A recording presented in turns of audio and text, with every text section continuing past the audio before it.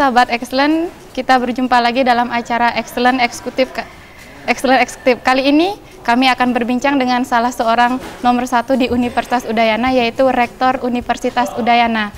Baik, ya Rektor Universitas Udayana yaitu Bapak Profesor Dr. Dr. Ketut Swastike SPPD KEMD. Baik, langsung saja saya sudah bersama beliau. Baik Bapak, selamat datang di Excellent di acara Excellent Eksekutif pada kesempatan ini ada beberapa hal yang nantinya Bapak sharingkan ke kami mungkin memberikan motivasi dan juga hal-hal yang memang perlu kami pelajari untuk ke depannya. Ya, baik Pak, e, di sini kami ingin mengetahui latar belakang dari kehidupan Bapak mungkin sejak masa kecil, keluarga, pendidikan dan juga jenjang karirnya hingga pencapaian sekarang mungkin bisa disaringkan ke kami. Yeah. Baik, untuk waktunya dipersilakan. Uh, baik, saya mungkin anak yang bernasib cukup baik ya dibandingkan dengan anak yang lain. Karena apa? Karena uh, saya lahir dari seorang keluarga yang yang memang relatif pada zamannya mungkin relatif boleh di kampung itu boleh dikatakan relatif mampu jadi orang tua sudah sangat paham untuk pentingnya pendidikan, pendidikan.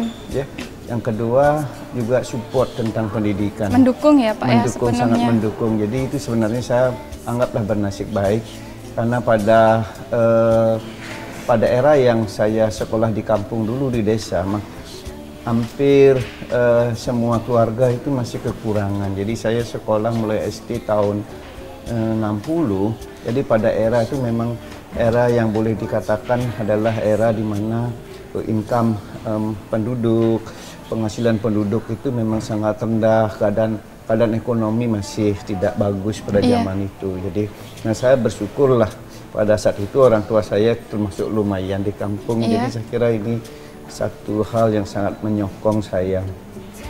Nah, eh, akibatnya saya bisa sekolah dengan lancar pada saat yang lain boleh dikatakan bahwa teman-teman yang satu SD tidak bisa melanjutkan sampai institusi perguruan tinggi hmm. tapi saya bisa bisa dengan iya. dengan baik saya kira itu anugerah buat saya iya pak iya di samping keadaan kan tentunya pasti memiliki potensi ya pak iya, maksudnya kira, pintar ya, gitu memang, memang saya termasuk dari dari kecil pada saat uh, mulai masuk SD saya sebenarnya dititipkan ya.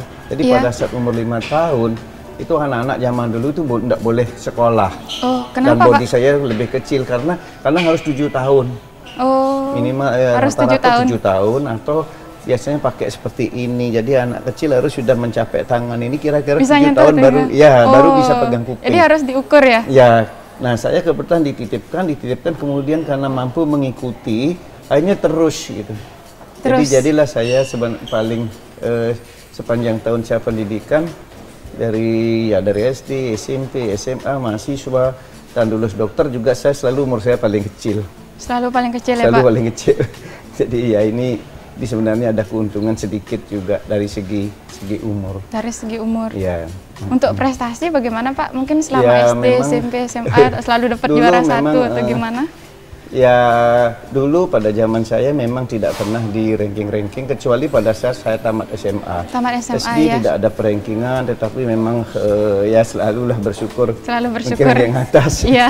SMP juga tapi yang jelas SMA saya lulus nomor 2 SMA Singaraja dulu iya. ya dengan ranking nomor 2. Kemudian lulus masuk mahasiswa kedokteran juga boleh dikatakan selalu ranking atas paling tidak tiga besar pasti. Iya. Kemudian uh, pada saat lulus saya lulus tercepat dan umur termuda, termuda sepanjang sejarah tercepat. kedokterannya dulu Dayan. Wah, gitu keren ya. itu pak ya.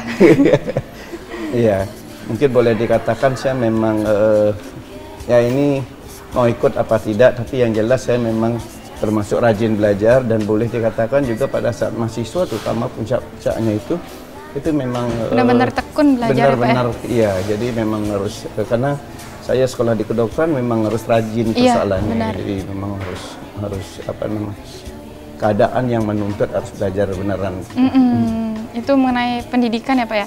Nah, jadi kan saat ini Bapak menjabat sebagai rektor ya Pak. Jadi mm. orang nomor satu Pak di Universitas yeah. Udayana gitu. Mm. Jadi kan, jadi mengapa gitu Pak? Ada nggak alasan mm. kuat Iya. yang memotivasi Bapak hingga pencapaian sekarang Iya. itu? Sebenarnya Mungkin memiliki maksud Iya. dan tujuan yang mulia Iya. atau bagaimana Ya, Pak? Baik saya sebenarnya tidak pernah bercita-cita jadi pemimpin karena cita-cita saya sebenarnya adalah ya, terbaik dalam bidang ilmu itu. Iya. Itu cita-cita saya memang. Jadi saya selalu belajar yang eh, paling tekun mungkin di antara seluruh mahasiswa, tapi tidak bermaksud juga untuk supaya lebih hebat dari orang lain tidak, tapi untuk yang terbaik yang bisa saya raih untuk diri saya sendiri. Untuk diri sendiri ya Pak Ya, ya? jadi nah itu sebenarnya motivasinya. Saya sama sekali tidak pernah mimpi jadi dekan, jadi rektor dan sebagainya.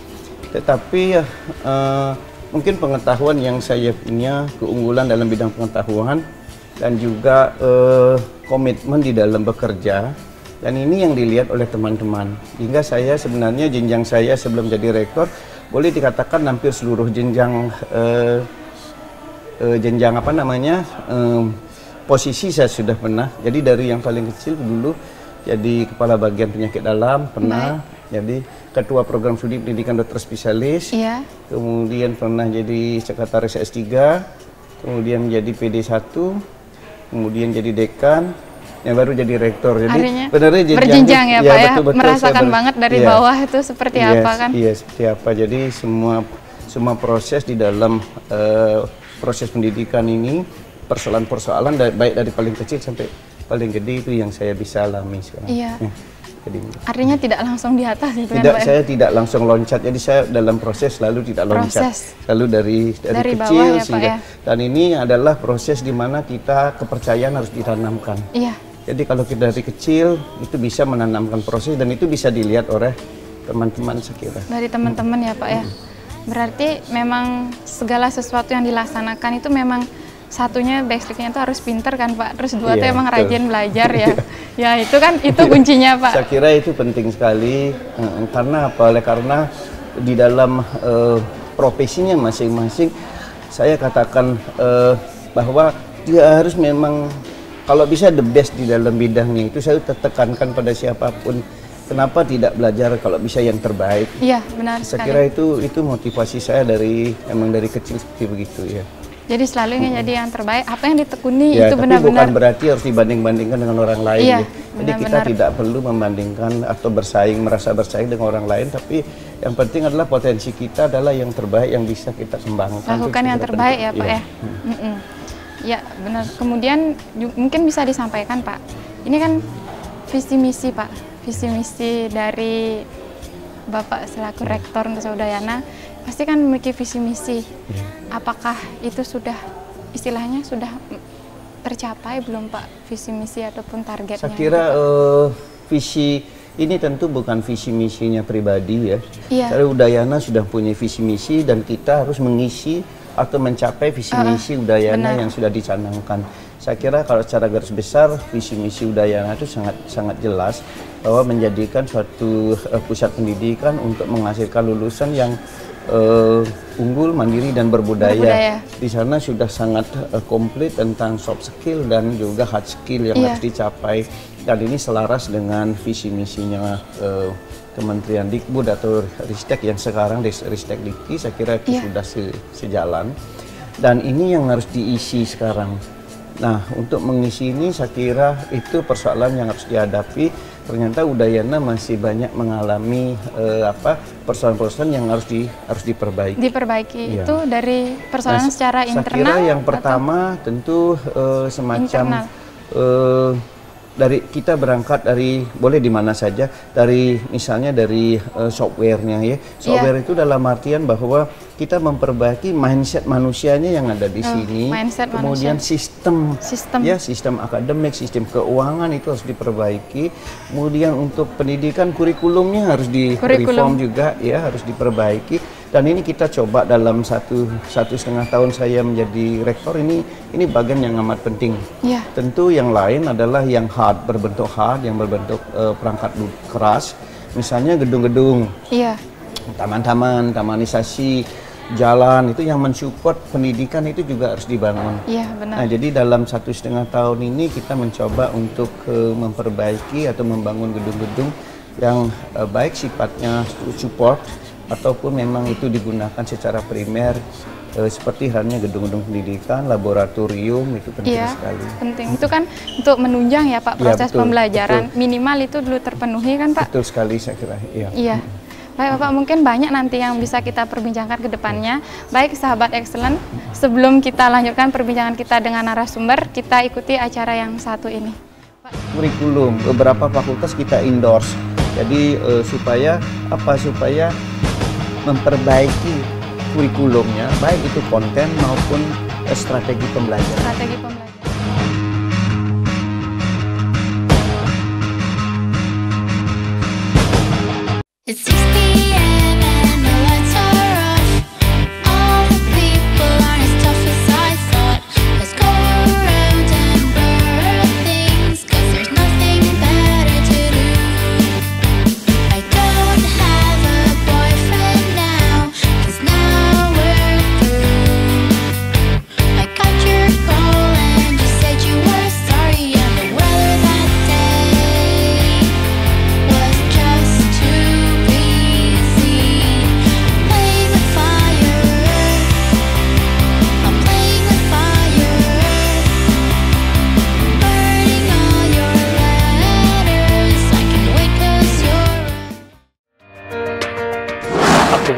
Shinchun mengatasi penyakit Anda dengan metode akupuntur atau Chenqiu, Japanese style, Korean style, dan Chinese medicine. Telepon 0857 7782 5557. Kelapa Gading, Jakarta Utara.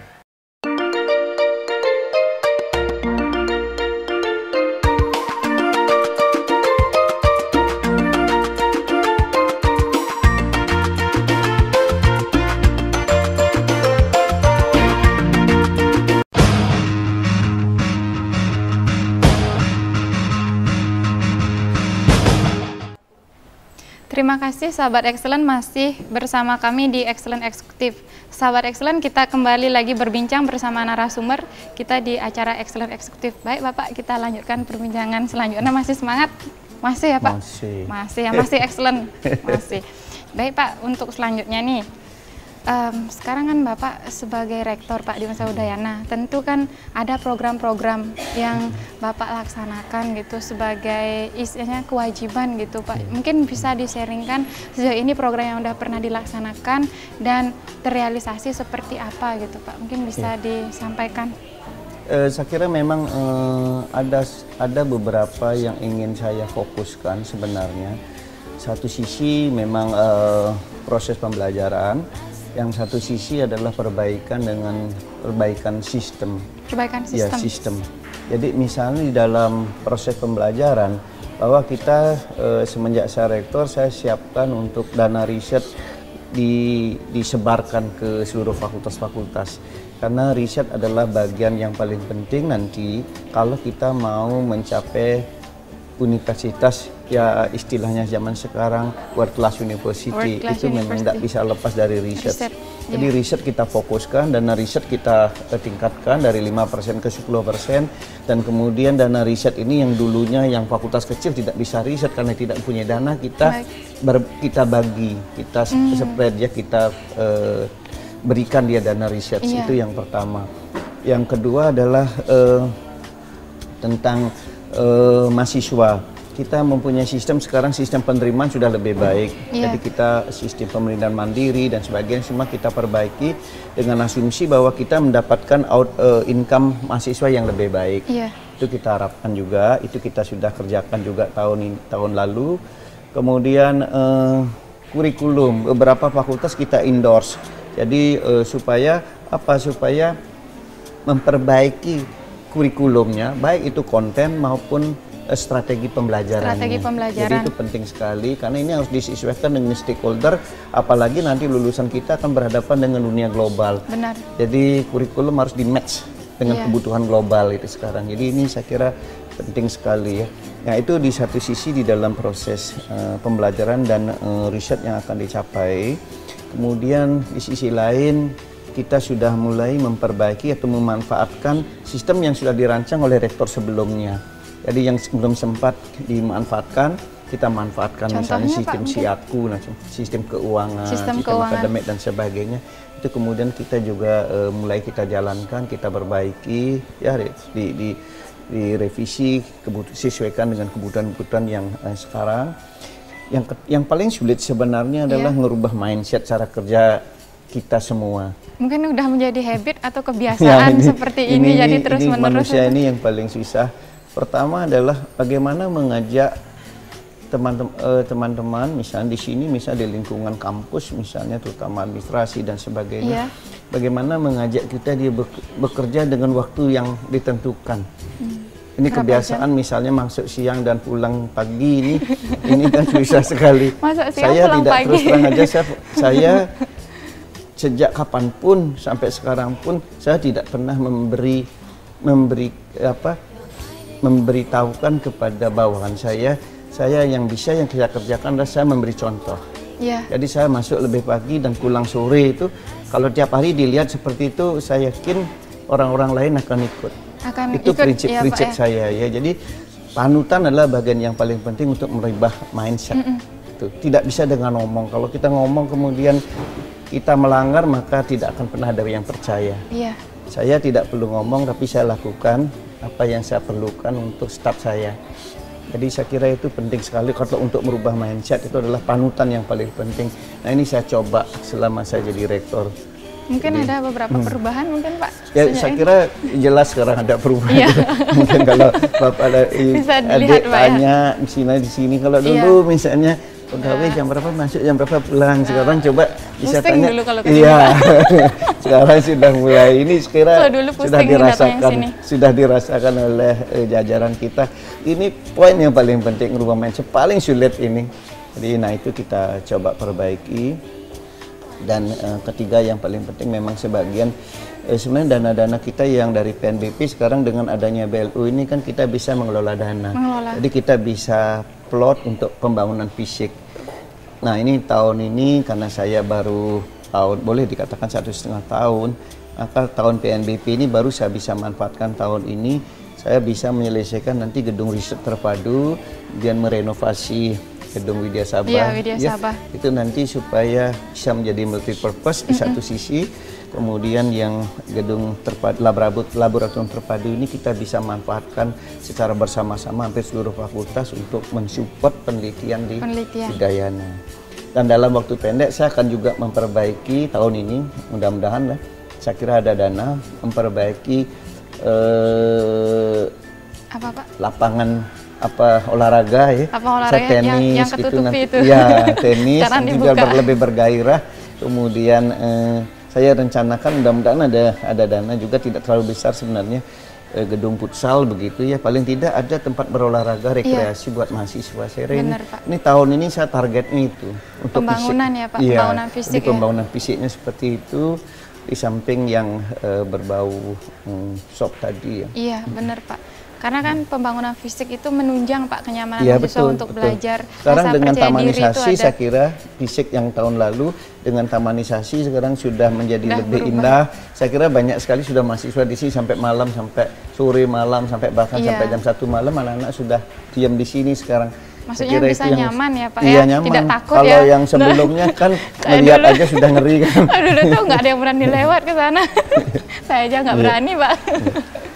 Iya, Pak. Mungkin itu kan sebuah perubahan nyata ya, Iya. Pak, yang ya yang boleh dikata dalam waktu yang singkat Iya. terasa sekali perubahannya kan pasti tentu ada strategi kan, Pak. Apa strategi-strategi pencapaiannya, Pak? Mungkin Saya kira satu aja modal yang paling penting adalah cara saya setuju sekali makanya kemarin saya katakan anak-anak mahasiswa mengadakan seminar bahwa the great leader is great communicator. Communicator, saya yes. kira memang kuncinya pada komunikasi. Komunikasi, iya, Ya, benar jadi sekali, kita Pak. harus baik dengan semua orang Iya, karena benar. pada hakikatnya leader itu kan menyuruh. iya, benar. Tidak mungkin bekerja sendiri kita Iya. nyuruh. Kalau nyuruhnya nyaman, Dia juga maka nyaman. yang disuruh itu Iya, tidak yang usah nyaman. diajak. Jadi perkosa Iya. juga dia akan nyaman. Itu saya kira modal. Nah kebetulan saya kebe- orangnya Iya. ya maaf deh bukan bukan untuk menyombongkan santai. tapi sebenarnya eh, kekuatan saya itu adalah pada komunikasi. Iya, benar, saya Pak. bisa komunikasi dengan siapa dan tanpa batas. Saya dari orang yang paling miskin, dari yang kerjanya paling rendah sampai yang yang paling hebat pun buat saya biasa Iya. biasa saja tidak ada sesuatu yang yang yang ini sama aja lah karena Benar kita semua Pak. sama manusia dengan posisinya saja kebetulan saat ini ada yang jadi ini jadi itu tapi pada Iya. hakikatnya kita kan manusia dan ini kita harus saling menghargai ya misalnya begini walaupun ini kecil mahasiswa misalnya saya tua rektor tapi bagi saya itu tidak tidak penting posisi dan umur itu tetapi kita punya cara berkomunikasi Iya. yang baik sehingga di situ nyaman saya nyaman kemudian pada saat saya menyuruh Iya. itu jauh lebih Jalan. gampang jalan. Dilaksanakan. itu sih kuncinya ada di sana Iya iya Iya. Pak. Mungkin untuk dalam pelaksanaannya Pak, mungkin ada beberapa tantangan Pak yang dihadapi karena sistem sebelumnya mungkin A dirasa A itu Iya. belum tercapai. Jadi Bapak istilahnya memperbaiki yang sudah ada Iya. kan Pak. Itu gimana Pak tantangannya ini Pak? tantangannya besar betul ini Nah, saya kira gimana eh, itu, terutama administrasi sistem-sistem itu Baik. kemarin karena ini kan sekarang pemerintah ada dua hal yang paling penting masalah aset dan masalah sistem Nah keuangan itu dia Pak. Ini sistem keuangan kita kerja keras untuk memperbaiki dalam lima tahun terakhir ini harus diperbaiki sekarang. Sistem tapi buat saya sebenarnya bekerja bukan persoalan. Benar. ya bekerja bukan bukan hal ya. Jadi teman-teman juga dengan senang hati memperbaiki itu semua karena harapan saya bahwa persoalan-persoalan tentang administrasi keuangan itu biar pada zaman saya semuanya udah tuntas kemudian semuanya sudah berjalan baik itu Ya, stabil itu ya, Pak, ya? ya stabil jadi tidak ada karena sekarang ini kan ada ada poin sebenarnya ada ada periode di mana dengan adanya presiden yang baru Jokowi dengan dengan apa niat yang lebih baik misalnya atau memperbaiki Iya. ini sebenarnya momentum yang baik sekali ini Untuk proses sekarang perubahan untuk ya, proses Pak? perubahan saya kira itu eh, dan saya kebetulan berada pada posisi ini sekarang ya saya tidak masalah memperbaiki yang lama itu memang itu menjadi tanggung jawab Iya. tetapi ini adalah poin yang baik sekali untuk berbuat sesuatu yang lebih lebih baik ke depan Iya momennya pas ya Pak Oh, ya. pas, iya, saya Untuk kira, iya. mewujudkan. Nah mungkin eh, banyak hal nanti Pak yang Bapak bisa sampaikan ke depannya. Mungkin kita break sejenak dulu Pak. Baik sahabat excellent, sebelum kita lanjutkan perbincangan kita dengan narasumber, kita ikuti acara yang satu ini.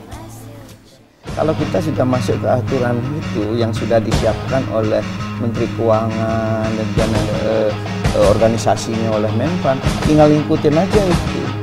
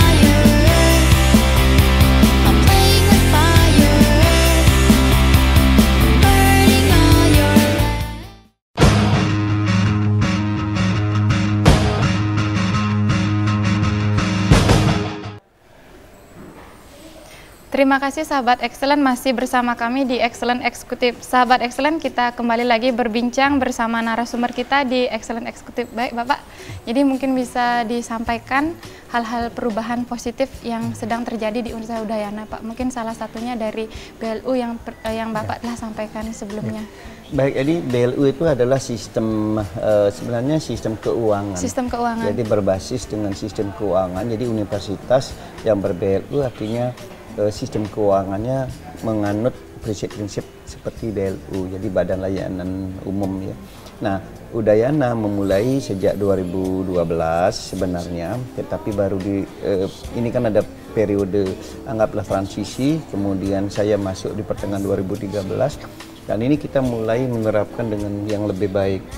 Dan sebenarnya konsepnya bukan masalah BLU atau tidak BLU, sebenarnya ada konsep-konsep administrasi keuangan yang harus dipenuhi.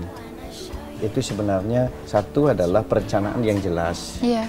Jadi perencanaan yang jelas, kemudian penggunaan uang berdasarkan perencanaan yang jelas Iya, tadi itu. benar. Nah, kalau zaman dulu kita adalah satu kelemahan ada pada perencanaan. Perencanaan. Sehingga penggunaan uang kadang-kadang oh ternyata di tengah jalan ketahuan keperluannya lain dipakai tanpa berdasarkan Tidak perubahan. sesuai. Iya, Tidak itu sesuai sebenarnya ya, Pak, ya. kelemahannya ada di sana dulu. Nah, sekarang kita mulai mencoba untuk menguatkan perencanaan, kemudian penggunaan uang ini disesuaikan dengan perencanaan yang ada. Nah, in case di dalam perjalanan eh, penggunaan uang itu atau perencanaannya itu berubah, sekarang konsep BLU bisa ada ada peluang untuk merubah perencanaan, untuk, perencanaan. memperbaiki. Jadi kalau memang ada keperluan mendadak yang lebih penting, kita bisa ubah itu penting. Nanti anggarannya ini pakai, kemudian anggaran yang lain yang tadinya itu bisa kita kebelakangkan. Jadi Iya. sebenarnya, nah yang penting adalah adalah kejelasan penggunaan uang Iya. dan proses penggunaan Prosesnya. uang itu yang harus baik. Dan ini namanya akuntabilitas penggunaan Iya. uang. Ini yang sekarang paling ditekankan. Dan mudah-mudahan lah eh, teman-teman mungkin belum 100% baik, tapi ini pasti ada proses yang sudah ke arah yang lebih baik di dalam eh, pengaturan dan penggunaan uang di BLU Universitas Udayana ini saya kira. Demikian ya. Berarti kan pada intinya kita untuk memperbaiki hal yang lebih besar harus dari yang terkecil dulu Iya, ya Pak saya ya. kira ya betul sekali. Da- Kita tidak mungkin juga, ini kan masalah juga Iya, pengaruh terhadap benar-benar. se- seperti budaya. Jadi budaya kita kalau merubah budaya tidak cukup satu tahun dua tahun. Benar, perlu waktu iya, ya, perlu Pak, ya. waktu ini. Jadi karena karena cuma tidak hanya di Udayana saja. Iya, benar, Ya, Saya benar. kira mungkin cara-cara penggunaan Berkesinambungan uang ya, yang di hampir seluruh masyarakat, Nah, itu dia, institusi, organisasi Iya. semua hampir begitu. Iya, Jadi benar-benar, dan saya Pak. katakan makanya ini momen penting sekali. Momen penting. Iya, jadi era Jokowi ini penting sekali untuk perubahan. Nah, Nah, itu udah Pak. Ketika kan ini tujuannya itu merubah ke hal yang lebih baik kan Pak. Iya, kan tentu hal-hal yang sebelumnya terlaksana yang belum stabil gitu Pak yang harus Iya. diperbaiki. Contoh misalnya, Bapak tahu ini salah dan ini Iya. harus diperbaiki, benarnya seperti ini. Nah, untuk proses menuju benar itu ada rekomendasi gitu Pak dalam Eh, iya, artian karena karena sebenarnya base-nya hanya aturan. Base-nya se- aturan. eh, base-nya Oh, aturan. aturan. Dulu kita melanggar aturan, sekarang jangan melanggar aturan. Itu aja prinsip. Nah, itu bagaimana itu strateginya Pak? Ya, Cukup ini dengan pendekatan datang- terus. pendekatan. Tiap hari ngomong, jadi setiap Pendekatan. Ya. PDKT, jadi Bapak. terus jadi setiap rapim, setiap rapat senat, setiap ketemu, setiap ngobrol selalu aturan, aturan, aturan. Aturan. Jadi kalau sudah penggunaan uang Benar. itu tidak bisa dibijaksanain. Karena? Semuanya tidak boleh dibijaksanain. Misalnya anggaplah honor mengajar adalah lima rupiah gitu misalnya. Maka kita tidak boleh bijaksana "Ih, enam- seribu." enam rupiah atau sepuluh rupiah tidak Nah, boleh itu. nggak bisa, Nggak iya. boleh itu. Jadi sesuaikan aturan. Kalau kita sudah masuk ke aturan itu yang sudah disiapkan oleh Menteri Keuangan dan juga eh, eh, organisasinya oleh Menpan, tinggal ngikutin aja itu. Kita Aturannya, sebenarnya Pak, ya? aturannya ikutin, jadi kita bisa bisa lepas Bisa lebih dari hal-hal ya? pasti lebih baik. Berarti sebelumnya Pasti aturan ada, cuma belum Kadang-kadang itu, itu. kita kan tahu Indonesia sebagai Iya. sebagian besar begitu boleh dikatakan tidak hanya institusi pendidikan bahkan lebih hebat lagi di organisasi atau institusi lain kan. Tapi kan boleh lah Pak ya kalau misalnya boleh dong kalau misalnya kita berubah yang lebih baik harus taati aturan gitu kan mau ya, nggak mau kan sekarang itu itu yang saya tekankan. Banyak awalnya mungkin banyak yang memusuhi saya. Ya enggak Karena masalah. yang dulu tujuannya dulu kan, kan, positif. gampang. Iya. Ya, dulu gampang keluarkan uang. Udah pakai misalnya untuk beli ini, untuk beli ini aja ya udah. Padahal ini kita melanggar aturan Iya. perencanaannya. Belum terpikirkan bahwa ke Ya. depan itu bisa jadi Nah, nanti masalah yang ya begini Pak. ini ya, jadi ini masalah di terjadi depan. masalah Nah, ini. jadi dari sekarang harus Jadi, didisiplinkan ya, Pak ya. ya. Benar sekali. Ini kerjaan yang pa- ini yang saya katakan perubahan mindset inilah yang sebenarnya Untuk yang tidak ya. tidak gampang. Tapi tanda-tanda perbaikan sudah. Tanda Rasanya perbaikan. feeling saya mengatakan ya. Ya saya juga merasa demikian Pak. Sekarang saya ke sini agak nyaman Pak. Kalau dulu saya malas ke sini. Iya. Jadi mungkin Pak ada suka duka ya Pak Jadi Bapak sebagai rektor mungkin mungkin bukan sih duka ya. Duka Hmm. Iya, mungkin iya. gimana ya enak bahasanya. Mungkin ada hal yang kurang berkenan mungkin Iya. yang terpaksa Bapak harus ya saya mawas diri gitu. Mungkin ada Iya, mungkin iya. bisa disampaikan Saya Pak. kira ya eh, betul sekali. Sebenarnya saya bukan kalau bekerja saya tidak pernah capek ya. Iya. Saya tidak pernah merasa apa beban karena saya sudah biasa kerja keras. Mm-mm. Jadi apalagi tahu kan dokter itu kerjanya kan tidak karu-karuan ya. Iya. Dari pagi sampai malam tengah malam dia itu sudah terbi- terbiasa dari waktu saya mahasiswa juga sampai sekarang pun. Jadi eh, tidur sedikit itu satu hal yang biasa. Iya. Dan saya tidak ada merasa beban apa pun sesungguhnya, apalagi mungkin terlalu sedih begitu karena untungnya saya punya karakter yang agak gembira Iya, begitu ya. selalu Jadi ya. selalu ada jalan Mencairkan keluar suasana, untuk Pak. ya betul untuk menyelesaikan persoalan yang tadinya takut, stres dan sebagainya. Tapi apa pun namanya suatu jabatan selalu ada risiko yang harus Iya. ditanggung. Benar sekali. Memang saya pertama yang saya eh, ini bukan keluhan sih, ini bukan mengeluh tapi yang saya korbankan misalnya pertama adalah tentu keluarga. Keluarga, ya, iya. keluarga. Tapi untung untungnya saya punya istri dia juga kerja keras jadi tidak merasakan saya tidak ada di rumah. Iya. Artinya sudah terbiasa Sudah juga karena terbiasa. istri saya dokter jadi tidak terbiasa juga dia kerja keras. Anak-anak juga jauh dari saya punya anak dua jadi jadi sebenarnya keluarga tidak ada yang dirugikan Tidak dari ada yang dirugikan. Tidak terlalu banyak dirugikan. Iya, karena sama-sama mengerti ya, Pak ya. Sama-sama mengerti. Mengerti. Itu saya bersyukur sekali lagi apa apa karena apa? Karena ya istri mengerti, terus eh, anak-anak juga mengerti sudah tidak pernah tergantung. Iya. Anak-anak sudah jalan-jalan sendiri, bebas begitu ya, tidak tidak pernah ngerecoki orang tuanya. Iya. Jadi sehingga saya bisa fokus kerja di institusi itu, itu keuntungan yang luar biasa yang mungkin tidak semua orang ya, mendapatkannya. Iya. Sehingga saya berani mengorbankan misalnya anggaplah ya saya kan dokter yang sudah sedang top-topnya sebenarnya. Iya, Kalau cari duit saya Gampang. sebenarnya gampang. Gampang Tapi itu saya korbankan sebagian. Demi korbankan kewajiban ya, demi- Pak? Demi Udayana. Demi Udayana. Nah, yang paling banyak tantangannya adalah situasi yang sekarang. Nah, itu gimana itu Pak? Mungkin Situasi yang bisa sekarang ini adalah yang jelas bahwa kita jujur saja tidak Iya. cukup itu. Ya benar Pak. Saya terus terang aja sampai sekarang saya mudah-mudahan bukan eh, saya selalu berdoa kepada Tuhan Yang Maha Esa bahwa saya tetap diberikan imam yang iman yang eh, baik ya supaya saya tidak eh, apa namanya tidak berpikiran yang tidak baik untuk mendapatkan income dari institusi ini Benar, Pak. tetapi itu saja saya yakin tidak cukup karena proses itu banyak celah-celah yang memungkinkan yang mungkin kita jadinya terjatuh ke sana. terjatuh Iya. walaupun kita tidak tidak mengambil uang. tidak niat sebenarnya Iya, ya tidak. Pak. Itu Iya. yang sebenarnya yang paling mengerikan Iya. dalam sekarang ini, era sekarang Iya ini. Pak. Sekarang era bermuka Iya, dua itu semua. yang paling paling mengerikan buat saya. Tantangannya itu sebenarnya Iya. bukan bekerjanya. Bukan bekerjanya. Bukan bekerja sama Tapi sekali nanti bukan pekerjaannya. Ini bagaimana nanti dampaknya Iya, itu? dampak nanti selip, ada orang yang bohongi Iya. atau salah prosedur. Benar-benar Pak. Itu sudah banyak Tiba-tiba udah nerima aja. Iya, nanti tantangan soalnya ini. persoalannya. Kalau rektor itu kan namanya KPA, jadi eh, kuasa pengguna anggaran. Yang paling bertanggung jawab, kalau di sini salah saya juga tanggung jawab. Yang paling ujung salah saya juga tanggung jawab itu persoalannya. Kuncinya satu paling atas kan Pak. Di Ya, bawah harus semuanya Di benar. samping kerja keras, niat baik, tiap hari harus berdoa supaya Tuhan memberikan kita yang memberikan terbaik. yang terbaik ya Pak Iya, ya. Padahal itu niatnya aja. itu sudah baik Iya. dan semoga niat-niat baik itu tersebar Pak. Jadinya semuanya baik jadinya. Itu kan untuk perubahan udayana ya Iya, Pak ya. iya. Ah, baik eh, Pak kita break sebentar ya. Nanti bisa dilanjutkan mungkin beberapa hal penting Bapak bisa sampaikan ke depannya ya Pak. Baik sahabat excellent sebelum kita lanjutkan perbincangan kita dengan narasumber kita ikuti yang satu ini.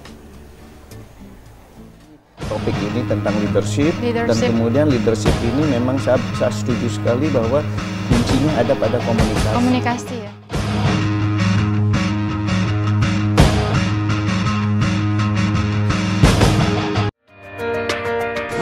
Akupuntur Shinchun mengatasi penyakit Anda dengan metode akupuntur atau Chenqiu, Japanese style, Korean style, dan Chinese medicine. Telepon 0857 7782 5557. Kelapa Gading, Jakarta Utara.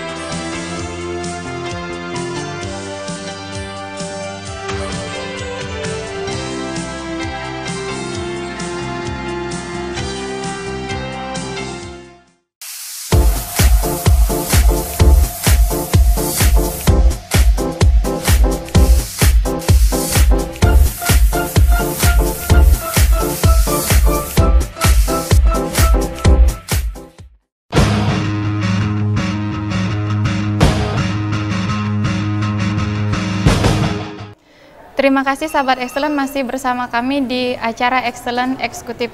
Baik sahabat Excellent, kita kembali lagi berbincang dengan narasumber kita di Excellent Eksekutif. Jadi untuk waktunya baik Bapak bisa dilanjutkan lagi perbincangannya. Ya, mungkin sangat menarik ya Pak ya. Banyak sekali hal-hal positif yang bisa sekarang kita rasakan itu Pak khususnya di Universitas Udayana semenjak Bapak menjabat sebagai rektor ya Pak. Mungkin waktunya boleh dibilang singkat akan tetapi jika memang kita serius dan tekun menjalani terasa sekali perubahannya gitu Pak. Mungkin bisa disampaikan lagi Pak hal-hal kecil mungkin yang memang sangat bermanfaat untuk kami nantinya gitu. Mungkin bisa Ya, saya kira di-sharingkan. hal-hal kecil untuk mensupport kehidupan kampus ini yang pertama kan mungkin memperbaiki sedikit wajah, mempoles wajah Iya, eh, ini apa namanya baik di dalam gedung misalnya Benar. maupun taman. Saya Taman, kira ya. ini hal yang kelihatannya sepele tetapi Penting membuat ya. pikiran itu Pikiran, nyaman. iya, Jadi kalau sekali. kita tenang kerja, orang sekarang misalnya senang istirahat sempat melihat pemandangan, lihat itu lebih nyaman, kemudian kerjaannya lebih enak lagi, Lebih fresh enak. lagi. Kemudian lebih senang juga di kantor ya. Kalau kantornya kusem, Takut. misal kantornya resem gitu Hantuan misalnya kantornya. ya orang males tinggal ya, benar-benar. sendirinya. Kalau ini kelihatan bersih, nyaman, orang lagi senang bekerja saya kira. Benar, itu Pak. adalah eh, hal-hal yang kecil yang bisa kita perbuat untuk memperbaiki performance saya Benar. kira. ya. Sebenarnya biaya kan tidak banyak ya. Biayanya tidak termasuk banyak. Jadi kira ini termasuk yang kecil-kecil ya. cuma kan niat ada ya Pak untuk memperbaiki yang lebih Iya, baik saya lagi kira ke kedua, depannya. kedua yang penting sekali komunikasi.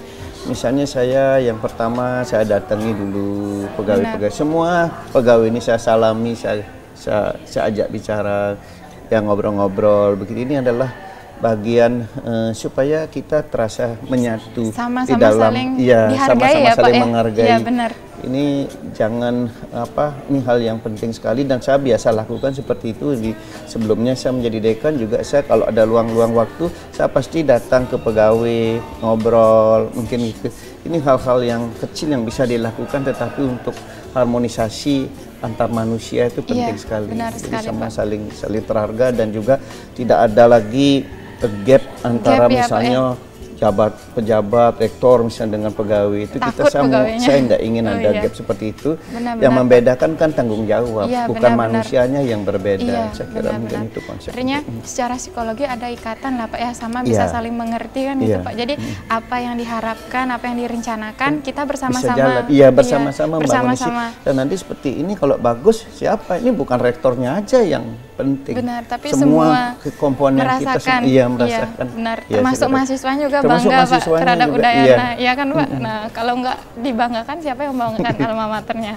Nah, mungkin em, bisa di-sharing Pak sedikit mengenai acara seminar nasional Iya. Pak International and Life Skill. Di sana kan tercantum bahwa a great leader is a great communicator. Iya, Jadi seperti yang sudah dilaksanakan oleh jurusan Teknologi Informasi Pak Fakultas Teknik Udayana, mungkin Bapak bisa share kira-kira acara tersebut itu bermanfaat tidak atau mungkin ke depannya harus terus diupaya dilaksanakan atau bagaimana Pak? Mungkin bisa Ya, disampaikan. saya kira itu penting penting sekali saya kira karena itu tidak semua didapatkan di dunia eh, Kegiatan belajar ya, formal Pak, ya? belajar formalnya ya jadi soft skill itu tidak semua diajarkan di dalam dalam bentuk di hard skill kan kembali di bangku kuliah lah nggak begitu jadi sehingga mahasiswa memerlukan suatu forum-forum untuk mengasah soft skillnya Soft skill. dan ini salah satu yang baik sekali dan saya senang sekali topik ini tentang leadership, dan Leadership. kemudian leadership ini memang saya, saya setuju sekali bahwa kuncinya ada pada komunikasi. Komunikasi ya. Kita tahu memang leadership yang baik itu memang harus mempunyai berbagai macam Banyak soft soft skill, skill, ya, iya. persyaratan soft skill, tapi komunikasi saya kira juga Komunikasi. salah satu yang penting sekali di antara sekian banyak soft Iya, skill yang benar. mensupport orang menjadi leader, jadi Benar, Pak. pemimpin gitu. Jadi saya senang sekali dan saya support sekali kegiatan ini dan ini yang harus dipersering tidak Iya, hanya terus. IT saja mungkin eh, Jurusan yang lain ya, yang Pak. lain eh, fakultas-fakultas yang lain juga harus mengadakan dan sharing ya Iya, saling mengadakan model-model eh, pembelajaran atau eh, keterampilan eh, soft skill ini ya diperbanyak Eh, Nah, mudah-mudahan nanti semua mendapat pengalaman yang serupa. gitu. Hmm, iya Pak. Mungkin bisa di-share sedikit Pak mengenai prestasi mungkin Pak dari Udayana yang hingga kini bisa dibanggakan. Contoh misalnya kayak mahasiswa terbanyak, mahasiswa asing terbanyak di Indonesia Iya, yang seperti iya. itu kan belum semuanya mengetahui bahwasannya di sini juga ada eh, banyak prestasi yang pernah diraih marching band, kemudian Iya, juara betul. tiga umum nasional, lomba mobil yang seperti itu Pak, terus anti aging yang di kedokteran, kemudian ada Institute for Peace and Democracy untuk Fakultas Ilmu Sosial dan Ilmu Politik. Mungkin Oke. bisa disampaikan sehingga Ya, saya kami kira bisa memang tahu, eh, ya di tanpa tanpa menjadi sombong, saya kira memang beberapa beberapa hal belakangan ini kita sudah mendapatkan sesuatu yang, Yang penilaian ya, yang Pak? baik ya. Iya. Baik dari mahasiswa betul sekali, saya kira masing band sangat eh, sangat berprestasi Iya. di tidak hanya nasional tapi, Tapi juga internasional. Saya kira itu satu hal yang ya, Pak, ya? ya itu sangat membanggakan yang terakhir kan ada dua tahun yang lalu Iya. ya waktu saya baru pertama menjadi tahun pertama menjadi rektor dia mendapatkan eh, performa terbaik di Thailand Di misalnya Thailand, iya. saya kira dan sekarang pun dianggap Masing Band salah satu organisasi mahasiswa yang nomor dua terbaik. Apa itu ya? Dapat dapat gininya kok. Penghargaan ya? Penghargaannya. Suatu pengorganisasi yang terbaik untuk nasional. Iya. dari Kementerian eh, Pemuda dan ya? Olahraga. Pemuda olahraga. Itu saya kira baru Udayana. bulan lalu ini kok. Bulan lalu ini mendapatkan hadiah. Saya kira itu penting sekali. Kedua Udayana juga mendapat hadiah yang keempat dalam keterbukaan informasi. Terbuka informasi. Keterbukaan informasi nomor nomor empat ya betul. Nasional Pak. Nasional setelah UI PB dan Gama ya kalau apa ITB saya lupa itu tapi yang jelas Udayana nomor Udayana empat nomor empat. tentang jadi ini sebenarnya penting sekali keterbukaan informasi terbuka informasi Ya, jadi itu ada konsep-konsep yang terkandung adalah fairness, akuntabilitas Iya. itu. Jadi saya kira hal yang sangat baik bagi Udayana untuk ditingkatkan terus saya kira. benar Ya, jadi nah, se- eh, memang eh, beberapa prestasi juga dari mahasiswa juga yang eh, juara lumayan mobil ya. Pak Ya, juara tiga mobil umum apa ada mobil tingkat ilmiah saya kira. Tapi bagaimanapun ini tetap harus di, di Terus dipicu, digali ya, Pak, dikembangkan, harus dikembangkan. digenjot ya supaya prestasi ini eh, lebih banyak lah di kemudian hari karena kita bersaing dengan berbagai universitas yang notabene sebagian yang ada di Jawa itu kan lebih memang sudah lebih dulu Iya. lebih tua jadi harus kita harus memicu diri sebenarnya. Lebih bersemangat ya Pak Iya. ya pada intinya terus kemudian untuk mahasiswa asing itu bagaimana Pak Nah, Untuk- mahasiswa asing kita bersyukur sekali sebenarnya eh, kita saya selalu katakan ini Bali sebenarnya bernasib baik sebenarnya ya. Sangat bernasib baik karena Bali sudah terkenal dengan perilaku manusianya sudah sangat terkenal dengan yang memang welcome sehingga se- mahasiswa asing yang mau masuk di sini tuh memang paling banyak. Saya kira mungkin Udayana salah satu universitas di Indonesia yang paling banyak mempunyai mahasiswa asing. mungkin jumlahnya mungkin kalau Jumlahnya boleh lebih tahu dari 1.500 per tahun. per tahun ya Pak Iya. ya itu ke Sekitar- fakultas apa aja kira-kira Eh, memang banyak ada ekonomi, ada sastra, terutama ada pertanian, ada kedokteran. Ya ada yang full course, ada yang short course. Jadi keseluruhannya Keseluruhan ya, Pak. Keseluruhannya itu hampir 1.500-an. Itu saya kira jumlah yang yang luar yang biasa besar ya, Pak ya yang besar setiap sekali. tahun itu Ini ini mencerminkan bahwa rekognasi juga ya, Iya. bahwa kita direkognize oleh dunia luar bahwa di Bali Udayana ada dilihat tempat lah pusat- Pak ya Iya. dipercaya Nah ini harus lagi dinaikkan intinya kualitasnya. ya kan mempertahankan Pak mereka Iya. udah hadir berarti kita bagaimana tetap memberikan pelayanan yang terbaik, terbaik, kan saya untuk ke depannya bisa Iya, bertambah lagi iya, kan seperti sekali. itu ya Pak Iya. ya Eh, baik Bapak. Mungkin nanti ke depan akan banyak hal lagi yang diperbincangkan tapi kita break sejenak. Baik sahabat excellent sebelum kita lanjutkan perbincangan kita dengan narasumber kita ikuti acara yang satu ini.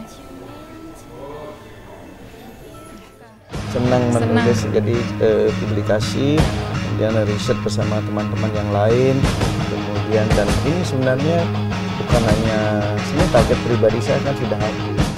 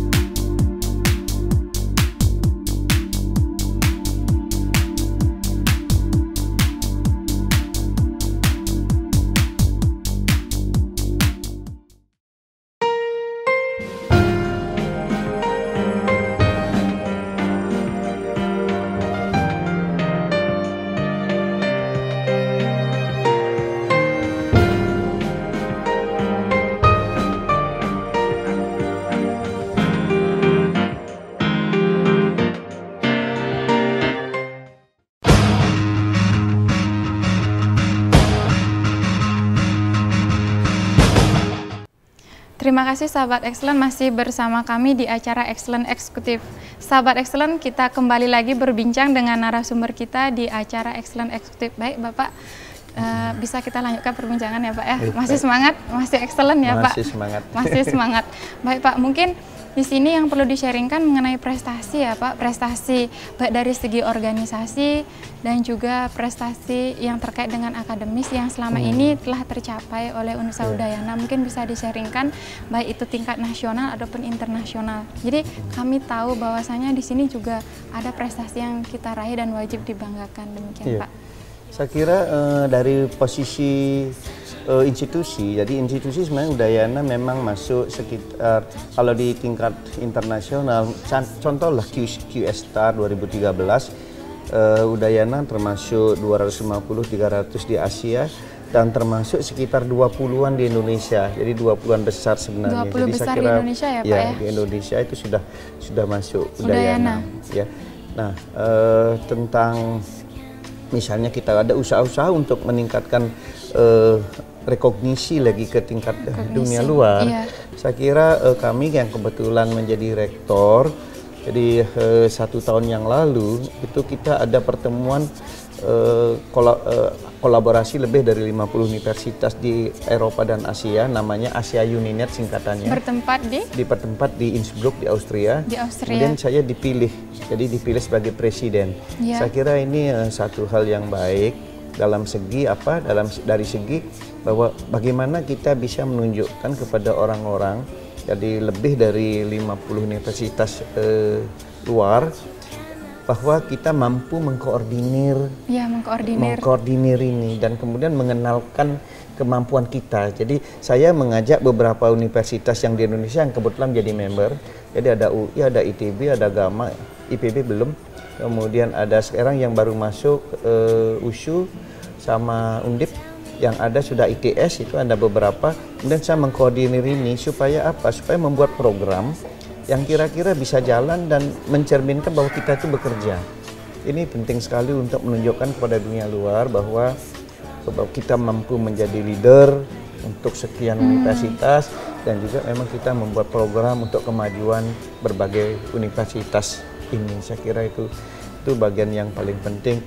Nah, eh, sebagai pribadi juga sebagai pribadi kita eh, selalu saya sebagai pribadi mungkin eh, saya berusaha juga untuk meningkatkan pengetahuan. Iya. Jadi pengetahuan ini penting sekali tidak hanya karena rektor itu kan jabatan sementara ya, tetapi ilmu tetap menjadi Ilmu bagian tetap. daripada yang harus dikembangkan. Iya, benar. Jadi dan ini kalau saya bidang saya bidang endokrin, jadi saya tetap melakukan riset-riset dan publikasi.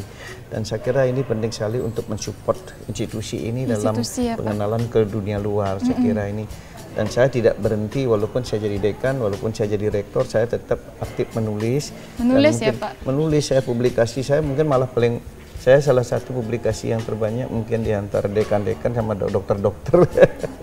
Jadi saya ya publikasi saya, padahal saya itu tidak untuk naik pangkat lagi, tapi betul-betul memang eh, Suka. senang Senang. menulis jadi eh, publikasi kemudian riset bersama teman-teman yang lain kemudian dan ini sebenarnya bukan hanya sebenarnya target pribadi saya kan sudah habis. Iya. target pribadi saya saya jadi tidak perlu naik pangkat lagi. Saya tidak tidak perlu apa karena saya sudah eh, maksimum golongannya. Tapi ini benar-benar saya eh, apa namanya saya dedikasikan untuk institusi ini. Iya. saya kira mungkin itu dan sekaligus juga memberikan apa teladan bagi yang muda-muda. Ya, yang muda-muda kalah sama saya soalnya dalam bidang menulis artikel ilmiah. Nah ini harus supaya jadi teladan bagi mereka ya. Saya kira itu penting sekali juga. Ya, mungkin Pak, sekarang kan Bapak sebagai orang yang boleh dikata sukses Pak pencapaian karir pendidikan. Maksudnya ini adalah puncak tertinggi mungkin ya Pak ya. Tentu kan Bapak menjadi seorang tokoh yang memang layak untuk dicontoh. Nah, mungkin yang perlu di-sharingkan ketika memiliki waktu luang Pak, waktu senggang nih.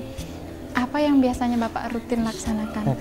Saya eh, hampir kalau sekarang-sekarang ini hampir berapa sampai puluhan tahun ini saya boleh dikatakan tidak pernah bengong ya. Ya jadi kalau saya tidak pernah sempatkan untuk bengong karena kecuali tidur ya. Saya selalu eh, saya coba saya ambil komputer. Jadi bias- kebiasaan saya jam 5 mesti paling tidak udah bangun. Jam 5 pagi ya jam Pak? 5 pagi pasti bangun. Jam berapapun tidurnya? Jam tidur jam berapapun, tapi sekarang saya usahakan sebelum jam 12 tidur minimal. Jadi kalau jam 12 eh, tidur, nah kalau tidak pagi bisa main tenis jam misalnya jam 6 atau setengah 6, jadi jam 5 saya ambil komputer lihat internet. Saya bisa nulis atau saya mencari literatur. Biasanya saya baca-baca dalam bidang ilmu saya. Kalau yang bagus-bagus saya langsung saya sebarkan ke seluruh Indonesia. Jadi teman-teman saya yang ahli-ahli diabetes di Indonesia, ahli endokrin, saya kirimin dia. Oh ini ada literatur baru yang bagus misalnya. Iya. Ada guideline-guideline eh, tentang pengobatan yang paling baru itu. Jadi itu kesenangan saya begitu. Kemudian saya kumpul-kumpulkan kalau ada eh, misalnya eh, artikel-artikel yang bagus saya kumpulkan, bisa jadi saya saya taruh di komputer saya. Jadi itu yang saya kerjakan dalam waktu luang. Jadi boleh dikatakan tidak ada Tidak ada waktu luang. luang ya. Artinya Semua saya isi. semuanya diisi ya Pak, entah itu ngetik gitu Iya, ya Pak entah ya. itu ngetik ya, Ngetik. selalu begitu ya. Itu merupakan bagian dari hobi ya Pak sudah ya? sudah menjadi bagian dari hidupnya, sudah tidak pernah beban. Jadi sekarang saya menyiapkan nulis buku. Ya, nah buku. itu udah Pak yang menarik, Iya. menarik kan. Saya juga senang menulis gitu. Jadi Iya. buat buku juga Pak. Iya. Nanti eh, mudah-mudahan rampung di tahun ini. Nah, yang ingin saya tanyakan itu kan Bapak hobinya menulis juga. Iya. Mungkin buku-buku yang udah diciptakan itu banyak enggak Pak? Eh, Kira-kira? saya sebenarnya eh, sebenarnya saya menulis itu bagian sebagian bentuk buku, bu- bu- naskah tapi sebagian abstrak karena saya hampir kalau hampir tiap minggu saya bisa bisa ngasih ceramah kalau boleh dikatakan minggunya. Jadi saya dalam satu tahun bisa memberikan ceramah di antara, antara 30 sampai 50 kali setahun. Ceramah itu. Ceramah ya Jadi Pak ya? praktis saya harus belajar itu. Tidak pernah tidak belajar jadinya. Setiap hari. Memperkuasa. Iya, tiap hari cari literatur harus belajar. Karena apa? Karena saya harus memberikan ceramah dari yang lokal di sini ya untuk dokter-dokter lokal, nasional, mungkin beberapa yang internasional begitu. Sambil eh, membuat eh, tulisan yang internasional. Nah, ini ini yang tiap hari saya kerjakan. Jadi membuat slide, buat tulisan itu sudah tiap hari. Nah, buku saya ini mempersiapkan saya kumpulan naskah saya selama enam tahun karena dulu saya sudah pernah menerbitkan eh, selama lima tahun naskah-naskah saya. Jadi yang saya bacakan di dalam eh, pertemuan ilmiah yang saya tulis sekarang ini enam tahun sudah numpuk. Jadi saya mau buat di samping itu saya membuat naskah-naskah baru lagi yang ada ilmu-ilmu baru saya masukkan di sana. Ini biasanya saya kalau sudah buat ini kalau konsentrasi di sela-sela waktu ya paling tiga hari sudah bisa satu Iya, naskah. semuanya bermanfaat Semua- ya Pak ya. Artinya memang penting ya wajib Ya. gitu Pak, harus Di samping itu. itu saya juga setiap kali sekarang jadi selama saya menjadi rektor saya sudah menulis sepanjang tahun itu ada hal-hal apa dalam kehidupan saya apakah yang santai, yang serius itu saya ketik. Hmm. Jadi mudah-mudahan nanti setelah selesai rektor saya bisa punya buku kenang-kenangan Iya. sepanjang saya jadi jadi rektor Iya. pengalaman-pengalaman yang bersifat enteng, ringan dan juga termasuk hal-hal yang serius itu. Hmm, baik Pak, mungkin ya itu juga sebagai masukan ya Pak Iya. untuk mahasiswa bahwasanya belajar itu seumur hidup kan Pak ya segimanapun pencapaian yang telah Iya. diraih itu tetap kuncinya kita harus belajar layaknya ilmu padi kan Pak makin tinggi kita makin merunduk. Ya saya kira itu penting sekali buat mahasiswa. Jadi kalau bisa jangan disempatkan bengong. Kalau silahkan kalau olahraga sama teman-teman Iya, silahkan. kalau benar sekali-sekali kita ngobrol luki.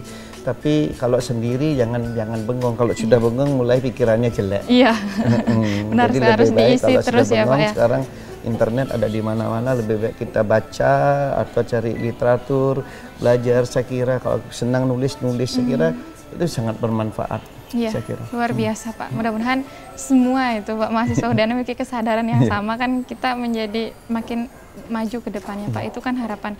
Baik Pak, mungkin bisa disampaikan Pak pesan-pesan atau kiat-kiat terakhir Pak yang Bapak bisa sampaikan untuk sahabat excellent Pak, sahabat-sahabat ya sekedar motivasi Iya. kami. Ya saya kira itu kembali lagi saya kalau ya belajarlah dengan tekun. Saya ingat eh, eh, apa salah satu kutipan yang saya sering eh, baca eh, ada bahwa usahakan sedemikian rupa sebesar-besarnya untuk meningkatkan kemampuan yang diberikan oleh Tuhan. Itu saya kira itu masih ingat eh, siapa namanya? John Max John Maxwell ya. Jadi itu memang tugas kita itu ya. Jadi jangan sampai diberikan kepintaran tetapi kita tidak belajar. Tapi malas ya Pak, jangan malas. sampai Itu iya pasti benar salah sekali. itu. Iya. Ya, jadi kita memang kebetulan diberikan misalnya anugerah oleh Tuhan ada yang sedikit lebih pintar, ada yang lebih bodoh. Tapi apa pun kondisi itu sebenarnya kita manfaatkan sebesar-besarnya dengan cara apa? Belajar cuy, jangan lupa kalau mahasiswa belajar dan ini belajar terus-menerus. Yang kedua selalu rendah hati. ya, jangan sombong karena keilmuan itu tidak ada batasnya. Iya, benar, Pak. Jadi jadi tidak perlu merasa hebat karena di pintar misalnya. Jadi tetap rendah hati dan saya kira eh, komunikasi yang baik Iya. antar siapa pun jangan menganggap eh, lebih tinggi. Jadi semua hindari hindarkan gap antar siapa pun Iya. di dalam pergaulan. Saya kira itu penting sekali buat kita. Yang membedakan hanya kewajibannya, Iya, tugasnya kita ya. Tugas saya kadang rektor misalnya, ya tugas rektor pekerjaannya adalah ABCD. Mungkin mahasiswa tugasnya, tapi antara pribadi Anda sebagai mahasiswa misalnya saya sebagai rektor itu sama itu. Jadi itu harus bisa membedakan antara eh, apa namanya misalnya eh, jabatan apa itu sehingga itu tidak menjadi menjadi hambatan di dalam berkomunikasi dengan siapa pun. kira. Ya, ini kan merupakan salah satu bentuk perubahan ya Pak dalam artian eh, di apa diberitahukan bahwasannya tidak ada gap ya Pak Iya, masing-masing sekira pribadi Saya tidak pernah, Iya. saya sendiri tidak pernah ada gap dengan siapa pun. pada intinya masing-masing Iya. pribadi itu begitu ingin kita saling kita ketemu menghargai orang, ya Pak. ya Iya. begitu ketemu orang maka itu bisa ada komunikasi yang memang ber- berdiri sama tinggi Iya, ini. ya. duduk Cuma sama kita rendah. duduk sama rendah dan kita saling menghargai. Iya, benar Ya, sekali, Jangan Pak. dikira kalau supir tidak penting. Iya, iya. Ya, Iya, Pak. hanya rektor aja penting tidak mungkin Iya, ya. Kalau tidak ada sekali. supir yang antar-ngantar saya mungkin Jalan kaki Pak, Ya, ya, nyetir sendiri. begitu. Iya, sih. benar sekali Pak. Itu sebuah informasi yang luar biasa dan memang harus dijadikan contoh ya Pak bagi generasi muda ke depannya ya Pak. Mungkin Bapak eh, sekian dulu Pak informasinya dan tentu itu sangat bermanfaat bagi kami ya. Kemudian untuk eh, selanjutnya Pak ini udah acara closing ya Pak ya. Jadi mungkin demikian lo yang Bapak dapat sampaikan. Baik demikianlah acara Excellent Eksekutif kali ini. Semoga dapat memberikan inspirasi bagi sahabat Excellent untuk selalu berupaya menjadi lebih baik dalam kehidupan pribadi, karir dan bisnis Anda. Sampai jumpa di acara Excellent lainnya.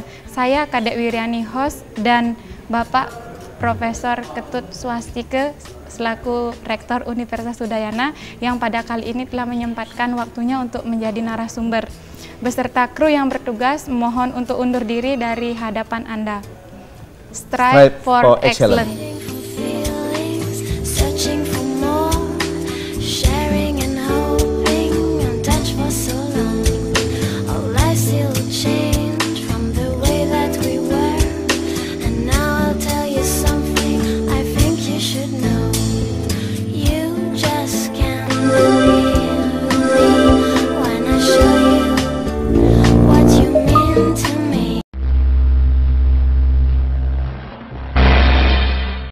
Balik setiap masalah, di balik setiap krisis, tantangan, bencana yang ada, kita masih bisa survive, kita masih bisa menang.